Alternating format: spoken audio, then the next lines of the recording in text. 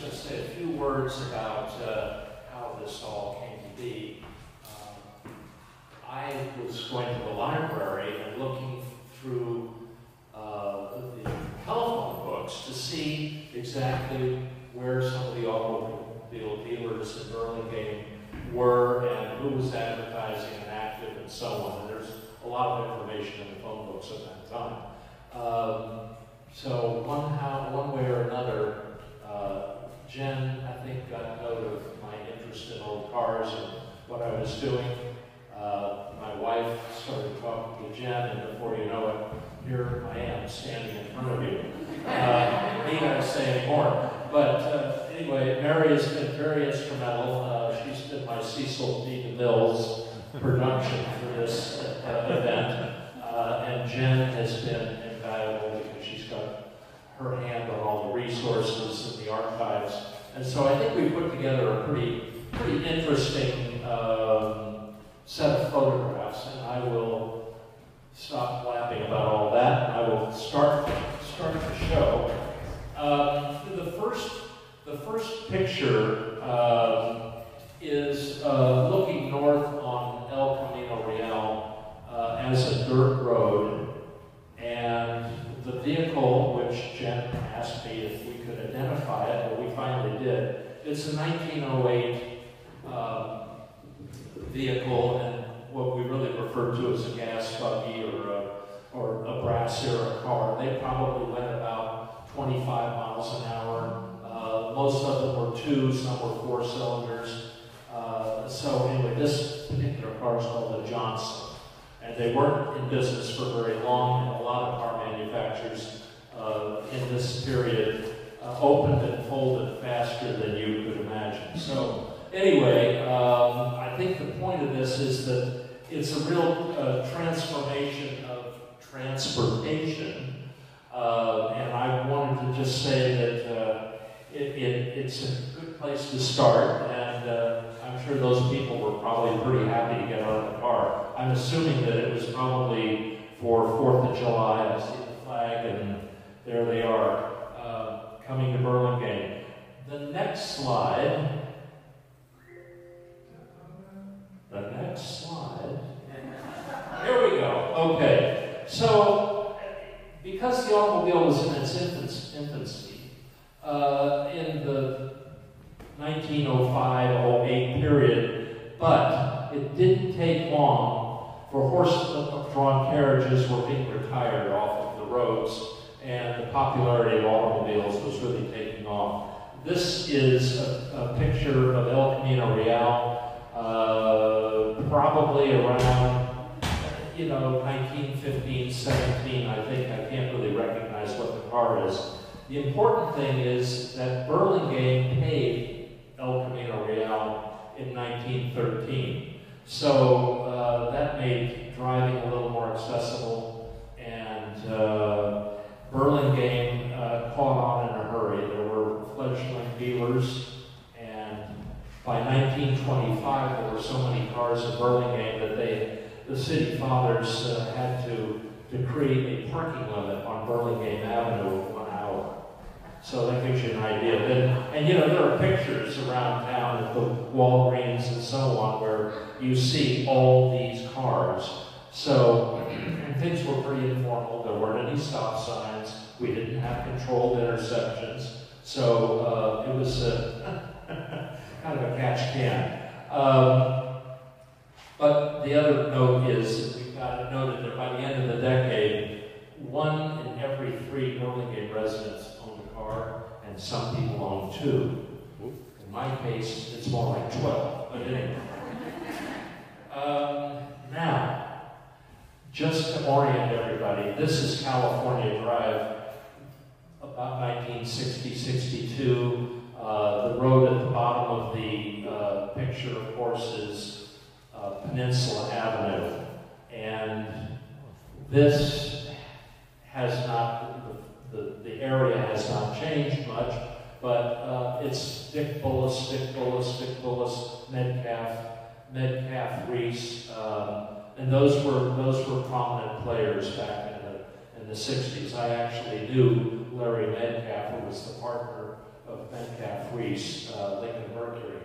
So we will revisit this photograph a little later on, and you're going to see how many of the players have changed.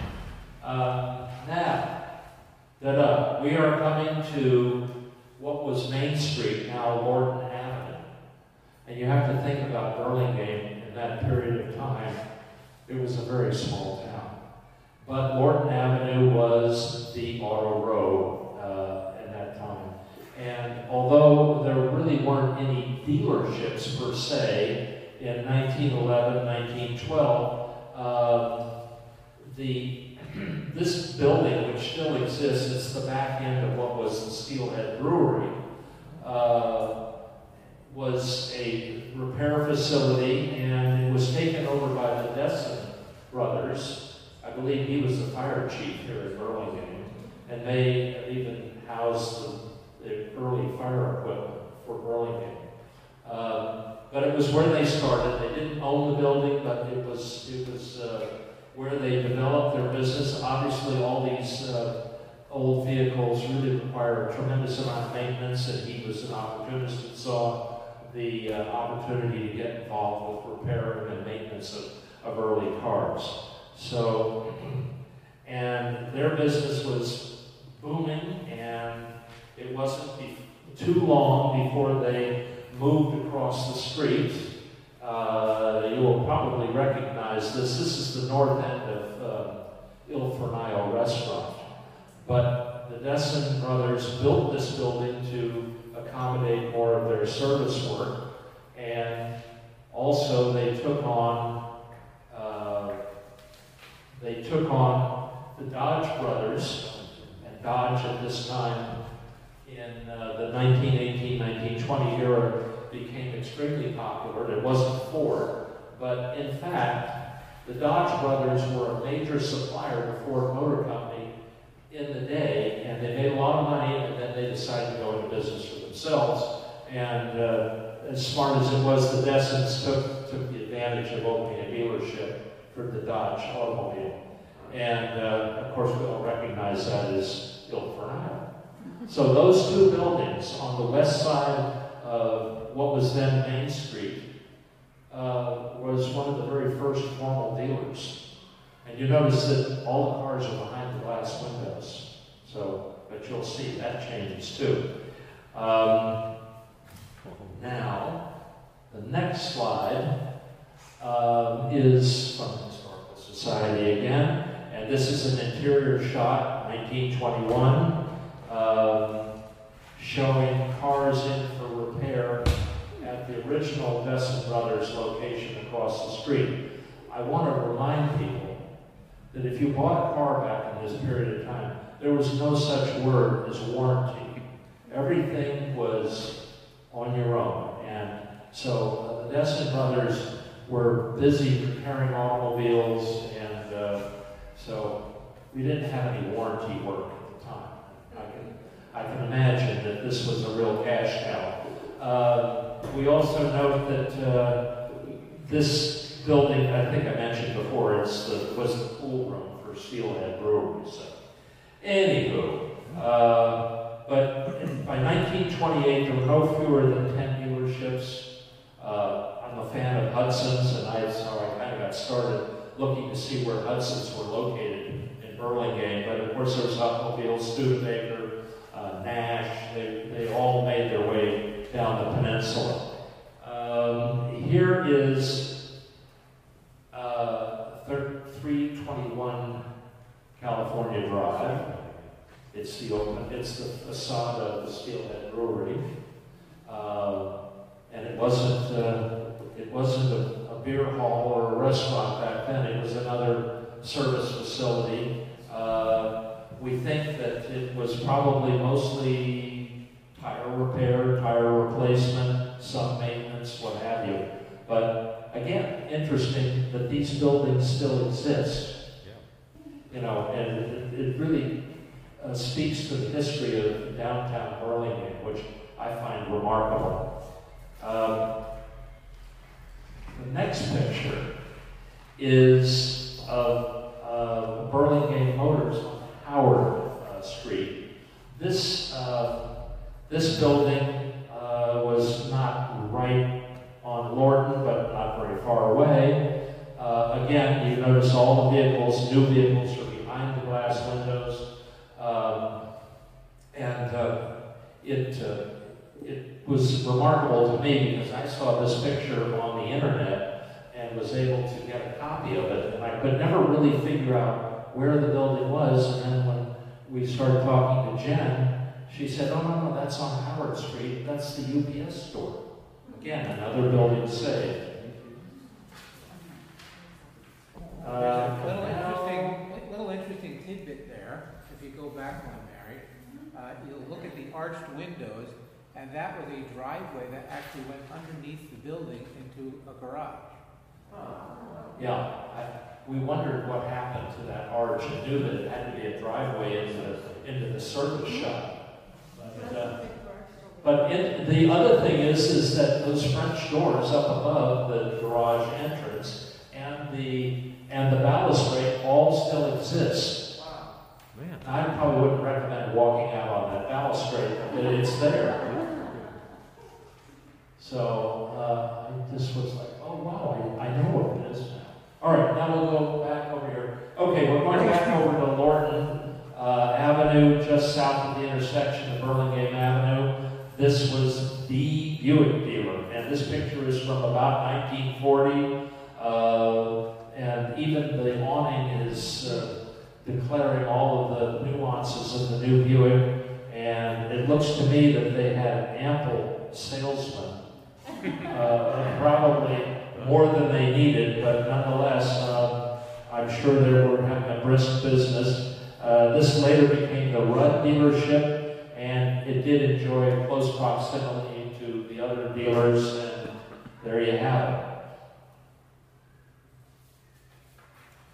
I Guess it doesn't exist. Okay, now, this picture is on California Drive, and I think this is really the beginning of mass marketing of automobiles in Burlingame. You notice that they probably did this as a promotional shot and had all the cars parked on a diagonal, but in fact, cars needed to be displayed, and you couldn't do it all behind small show, behind glass windows in small showrooms um, where it says stock reduction sale, and it looks like they got about a 90-day supply of automobiles.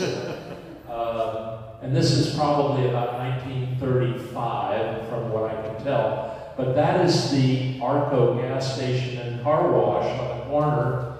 Um, and there's Noel Miller uh, Service Facility and Napa Auto Parts. Those buildings all still exist.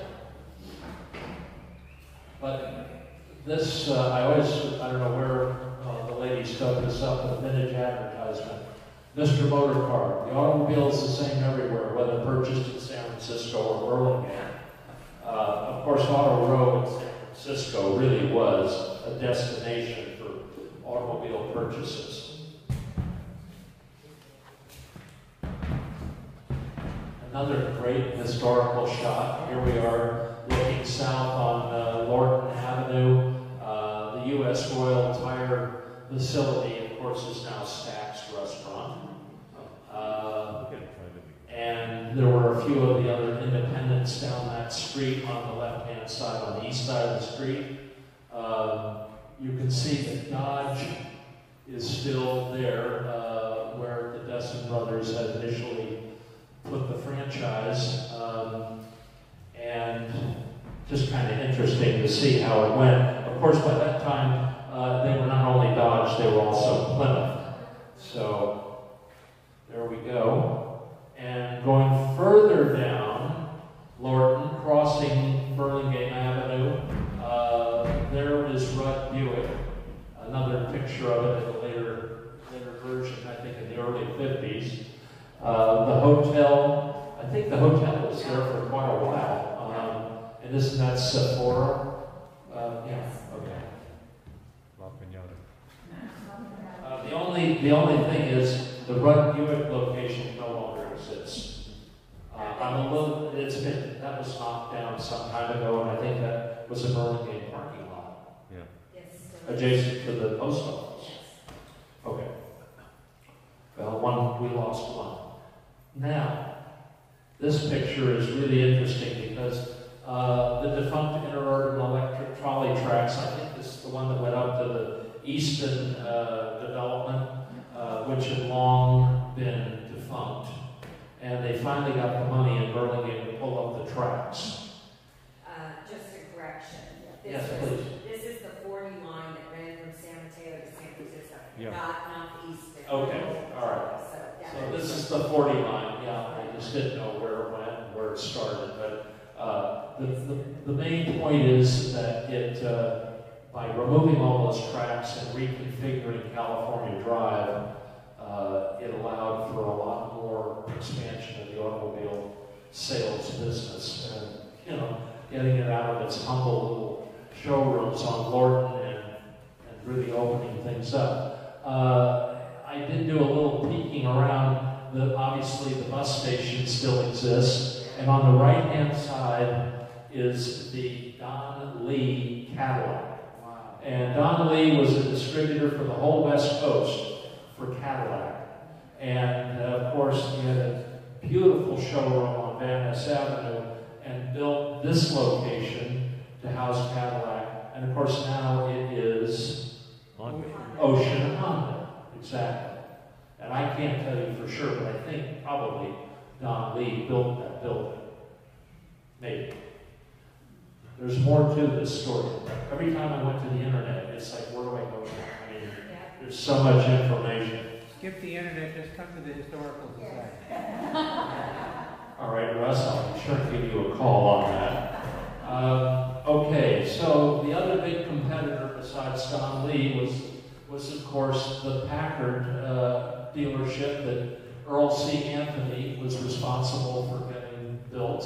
A fantastic looking building. I read some of the impetus. It has some Moorish architecture to it. Uh, it's now the candy store. It has been so many different retail automobile uh, facilities.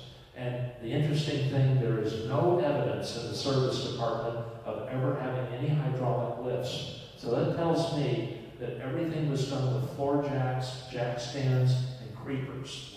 So if you were a young guy, you could be a mechanic, but you know, for how long? I mean, you, get crawling into. Out and under uh, Packards would be a, it'd be an exhausting day. no pun intended. Uh, just a few words about Earl C. Anthony. I did quite a bit of work. I mean, Norbert was quite a noted architect in the, in, on the peninsula. Uh, Earl C. Anthony didn't, didn't waste any time. He was a promoter from the very get-go. Uh, he was always promoting If there was a, a big occasion, Lindbergh came to Los Angeles. They had a parade for Lindbergh they were all Packards. Um, and, and it just went on and on like that. So it's kind of fun. Obviously, uh, Earl C. Anthony realized the wealth on the peninsula with all of the Crockers and the, the Popes and all the rest of the, the mainstays down here in Hillsborough, that this was an obvious uh, business decision for him. Uh, he, he took on, uh, he took on a, a number of other things during the Depression, because this was built in 1929. Uh, Hudson became a uh, became a, sort of a secondary product that was marketed by many Packard dealers, and it was a little bit, you know, obviously less expensive than than the big Packards, but uh, Hudson, Nash, Chrysler, these were all uh, brands that were consolidated when business, uh, businesses were really hurting from the Depression. Uh, it didn't last forever, but anyway, that's, that's how they survived. Uh, okay, now we have a picture. This is the beginning of Rector Motor Car. Back when John Rector uh, was the principal, and it was Cadillac and Oldsmobile. Think Mr. Rector and his business uh, and his business manager figured out they better start putting cars out on the street so that they could uh, attract the uh, passerbyers. Uh, that would be the people from the train station. Uh, I took a magnifying glass to the windows and uh, they're touting the new Oldsmobile 88 and 98s. Uh, so it was big news and, you know, come on in for a test drive, I'm sure, you know. So, of course, we know what happened to Rector after this, but we'll get to that in a minute. Now, we have Mike Harvey, the last car dealer of the location. And Harvey came from Chicago. Um, he had been very aggressive in Chicago. He bought into a Buick dealership, uh, turned it around, quite a bit of money. Um, he worked with a gentleman by the name of Busey. Uh, that was Bill Busey, who just recently died. I've known him. And Bill said, maybe you ought to get out of Detroit to come to the peninsula. I've got a dealership down in Menlo Park. We're doing very well. Why don't you take on the Oldsmobile franchise? Because it's not part of the Cadillac operation anymore. And this is, you know, follow the pea under the walnut shell. Things are moving so fast. But uh, he did. He did come out. He went on to purchase a, the Chrysler franchise, Chevrolet, Porsche Audi, believe it or not, um, and the DeLorean, which kind of fizzled before it popped. Um, and, uh, you know, it, it, it's just kind of interesting how all these players have evolved. I spent most of my time at Rector working with Craig Musey. That would be Bill Musey's son. And uh, at the time, Craig, when I came in, Craig was uh, working up in Serramonte for the Acura dealership, which was part of Don Lucas. So, anyway. Okay, this is just a quick overview. I'm not going to go through all of it, but uh, 1021 Burlingame Avenue. It's Suburban Motors, Earl C. Anthony, Donnell, Packard, blah, blah, blah. It goes on and on. Uh, they were even selling trucks there for a while, and AMC, and finally, 77 to 82, Mike Harvey. So, I think that building, since day one, 1929, has always been related to the automobile business.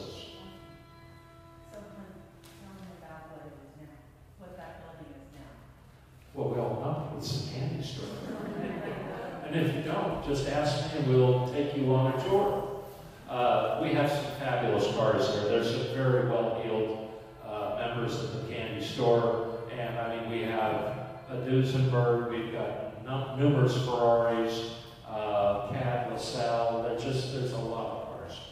So, anyway.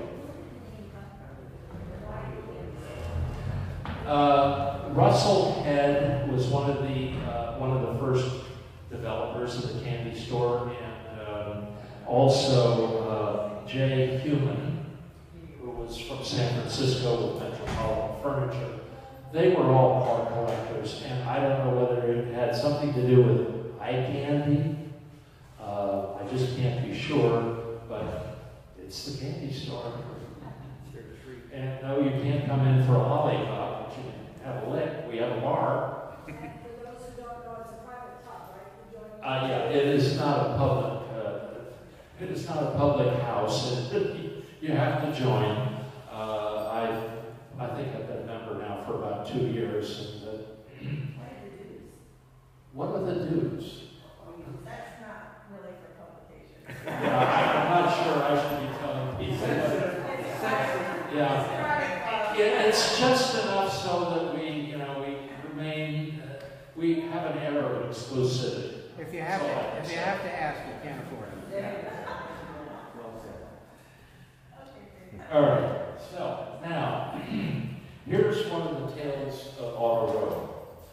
Uh, so, I know, it, it, publicly, when you read, it says John Rector, but everybody that I knew, and I never met the man because he was, he had died before Arrived ninety-five, but Jack Rector, uh, built the building on what was an industrial way. He wanted to change it to Cadillac Avenue or Cadillac Cadillac something, and I believe the, uh, uh, the building department or whatever department of, uh, City Hall said they thought that there had to be a, an adjustment to that name. So it ended up being Cadillac Way, because it is over forty feet wide, and they wanted to give it as much prestige as possible. Um, two years later, after the dealership is up and running and is a very fancy, uh, example of Cadillac retail sales, Jack went back to uh, the planning commission and said he had all the drawings and engineering uh, work done a new 80-foot rotating sign with a fountain at the bottom. And uh, of course, the planning commission gave that a thumbs down almost immediately. But Jack pers- persevered and went back to city council.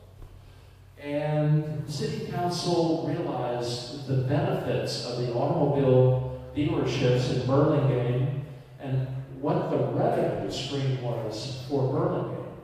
Um, up to even in early 2000, it represented somewhere between 42 and 45 percent of the income coming into Burlingame. I think that uh, that was that was known even when Jack went back and appealed to city council. Anyway, the final decision was four to one. The sign goes up. There was one gal on the city council, uh, I believe her name is Charlotte Johnson, and she rhetorically had said, "Well, are we a city of signs or trees?" well, that that problem got resolved. But you know, another interesting little note about that is when I first started at Rector, we had quite a few eucalyptus trees uh, between the sidewalk and Broadway. I don't know how many people remember that, but there were trees there on our on our lot. And one Monday I came in and they were just loading up the last of the eucalyptus trees. And I have no idea how Jim Henne got that done. And I have a feeling he paid a lot of money to somebody or a City Hall because they really needed to come down. The trees were, you know, leaves everywhere you can imagine. It was a constant uh, area of maintenance. So, there's a little something about the sign. Um, now we are looking at the uh, Rector facility. Its name is now Burlingame Porsche, Burlingame Audi. Uh, the sign still exists. It's about 20 feet shorter than it used to be. Um, it doesn't have a motor in it any longer. The wind blows it to and fro.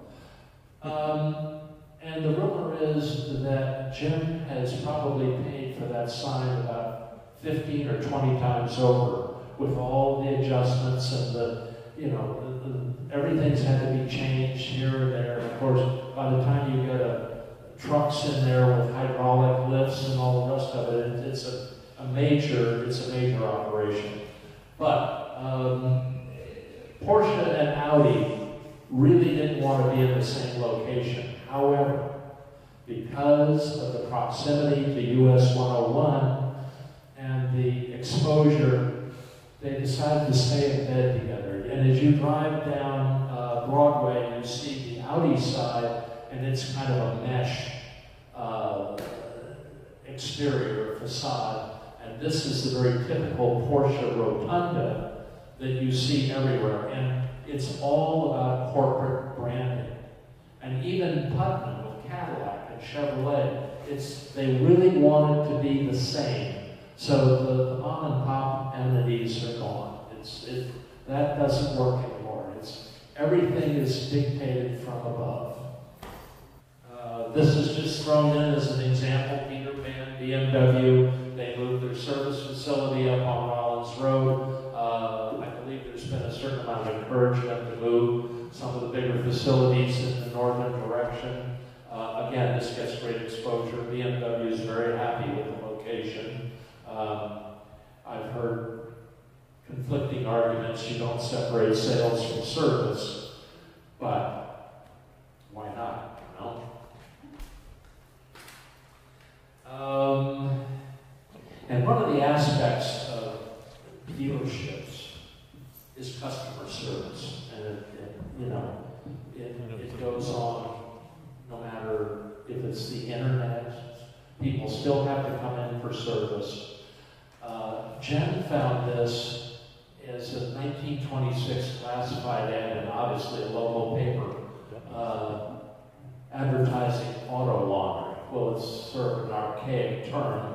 Uh, today, we would we would kind of relate this to Auto Pride or Ducky's, but even back in 1926, it was washing, greasing, changing oil, all the maintenance procedures that you had to do on these cars, and quite frequently. But uh, I, the part that I like the best is cars called for and delivered. Well, uh, we don't really um, emphasize that service anymore, but uh, we will do whatever it takes to keep the customer. And so, the next time you take your car into your repair facility, ask them, could you deliver the car? I'm kind of busy this afternoon. I'd like to see what they have to say. Mrs. Griffith put this picture in. It was just a recent donation um, to the Historical Society, and of course it is now Ocean Honda. But uh, I, I'm beginning to think that uh, Don Lee Cadillac built this building, and it's you know it, it's it is a good-looking car building, and uh, just to see that here's a little more history of it. So we we added that just to give it some flavor. Um, let's see what else we have here. Oh, yes, of course. So, this is basically the same photograph from 1962. However, if you look at all the blue flags, there's no Dick Bullis or Metcalf Reese anywhere to be found. It is constantly rotating ownership, uh, principles, so on. And of course, Putnam Mazda, Putnam Nissan, Kia. Uh, yes, the, the Asian market is pr- producing cars that are very popular. And so there you have it. Uh, and there's still Buick for now. And that is the end of my little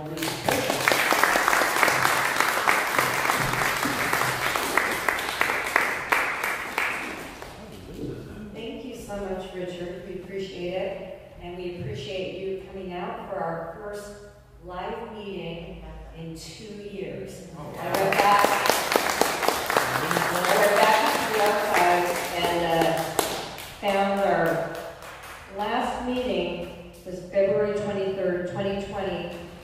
Jim Hannay uh, has really been a very has been very fortunate. He could afford to accommodate Porsche and Audi for all of what they wanted because it had to be met or give up the franchise. But they own the dirt, they own the building, and they could afford to do the remodel. I, you know, when you think about uh, down here Autobahn Motors, uh, which was a Lucas uh, dealership, uh, Don had the money to to do all of that construction at that time and so on. He was very successful. He's now deceased, but I did actually work for Don Lucas before uh, Rector. Um, but it takes a tremendous amount of money to be in the car business. Automobile buying process is changing very drastically and very rapidly. Oh, yeah. uh, with online sales and Tesla, for example, where the sales tax does not go to the city.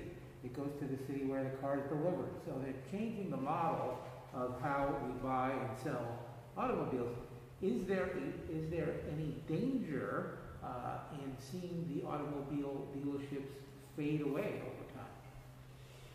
Well, um, let, let me peel back the onion. Think about these uh, principal distributors uh, that were willing to put up the money, like Earl C. Anthony, Lee, Slater, and so on.